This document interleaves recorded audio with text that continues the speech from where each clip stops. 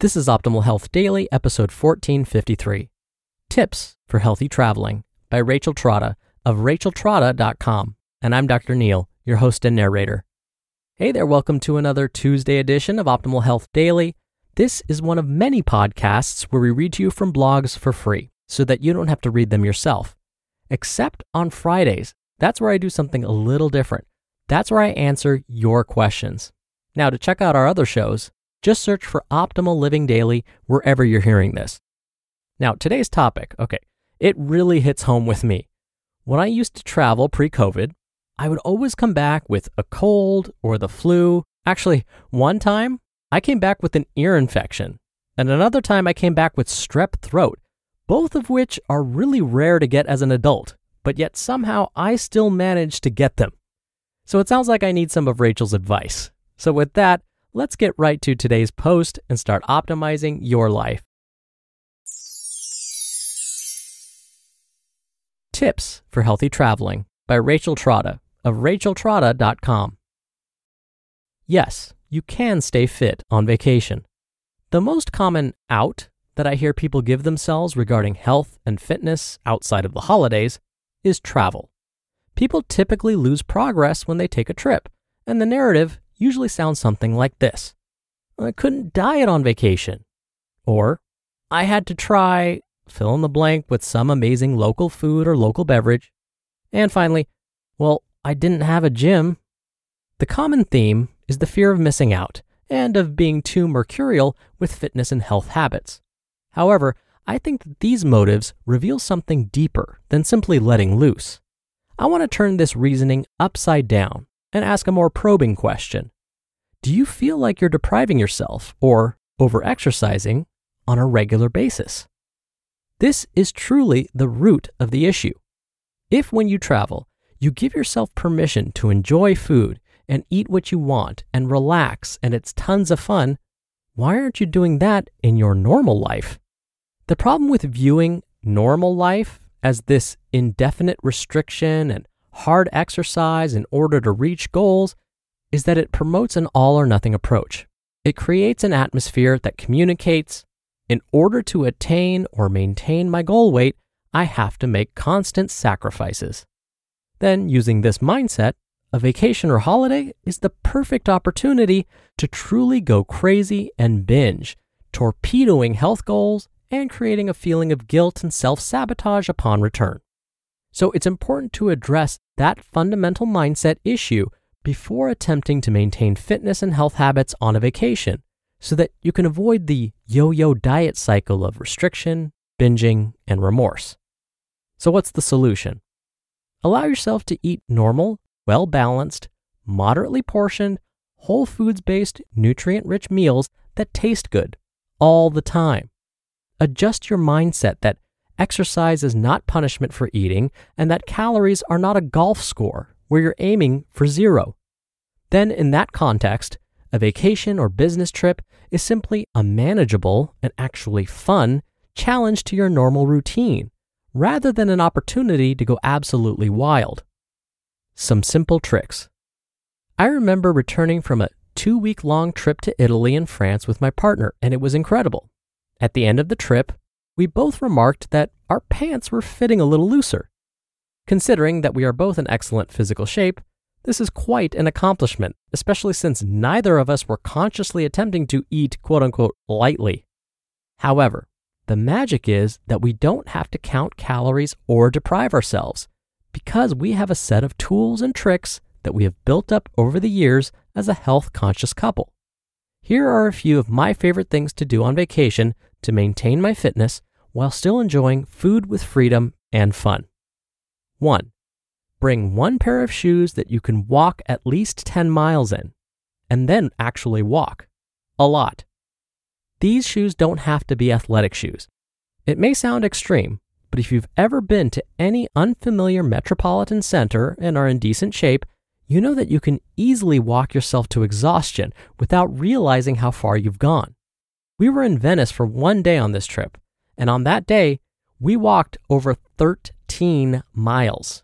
Yes, we walked a full half marathon in a city that's only a little larger than Central Park.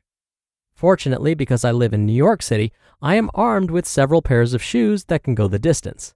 Converse are at the top of my list. The benefit is that walking is wonderful exercise.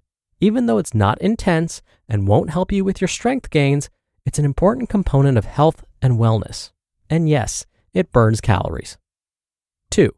Get to know the local grocery stores. Wherever you are staying, there is surely some kind of convenience store, if not a full grocery store. Even for a short trip, it's worth it to stock up on the following items water or plain seltzer water, Greek yogurt, fruit and berries, bread and peanut butter, and mixed nuts and dried fruit. And if you're staying in an apartment or a hotel with a kitchenette and your trip is longer, I would add the following to the list lettuce, tomatoes, olive oil, balsamic vinegar, cooked meat, and cheese. It's so important when you travel that you don't have to dine out at every meal. Your caloric balance will be much more reasonable if you eat at least one meal a day at your place of residence. Plus, shopping at a local grocery store is an excellent way to get to know the culture better, especially if you're traveling abroad. 3. Eat when you're hungry. My partner developed a great mantra on the trip. When is the right time to eat? Now. What is the right thing to eat? Whatever you have.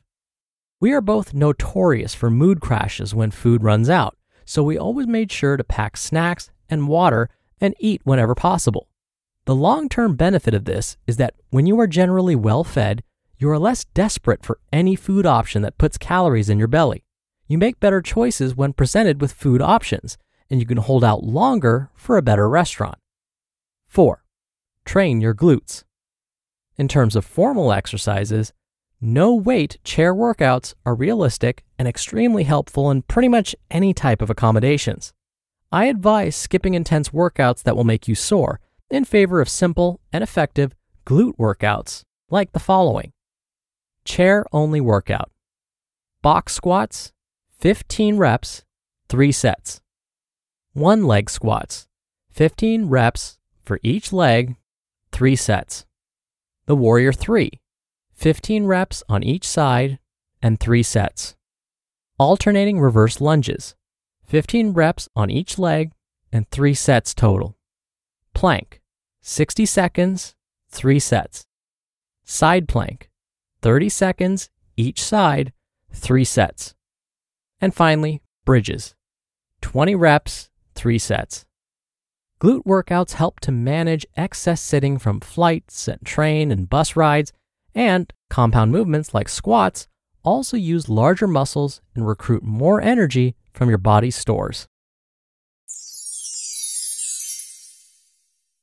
You just listened to the post titled Tips for Healthy Traveling by Rachel Trotta of racheltrotta.com. Speaking of traveling, if planning a vacation stresses you out, check out Apple Vacations.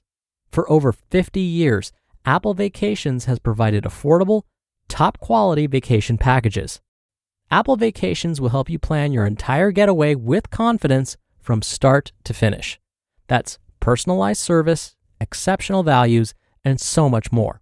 They're known as America's favorite vacation company for good reason. Plus, you can choose destinations like Mexico, the Caribbean, Central America, Hawaii, and the continental US. Book confidently when you add Travel Protection Plus to your trip, which means you can cancel or change your reservation with no additional change fees. Now, for a limited time, you can use promo code SAND75 and take $75 off your stay at Live Aqua in Cancun or Punta Cana. Just go to applevacations.com slash optimal dash health dash daily to get this steal of a deal to your favorite Live Aqua resort today. That's applevacations.com slash optimal dash health dash daily. Dr. Neal here for my commentary. Okay, so, based on Rachel's article, I think I know where I go wrong when I travel. When I travel, I would basically try and replicate the intense workouts I get at home. I'm good about packing my own non perishable snacks and eating nutritious foods and drinking plenty of water. But I don't sleep well when I'm away from my own bed, and yet at the same time, again, I continue to train intensely. This is a losing combination. Traveling in and of itself is exhausting for me. And by forcing my body to continue to train intensely without adequate sleep is likely going to deplete my immune system. So instead of trying to keep pace with my usual routine, I can remind myself that all of the walking I'm doing is a nice change from the workouts my body's used to. If I'm missing the intensity of some resistance training, I don't need to go all out and I can scale it back and perform some bodyweight exercises. And in fact, the next time I travel, this is going to be my new plan. And I'm sure I'll come back healthy on my next trip.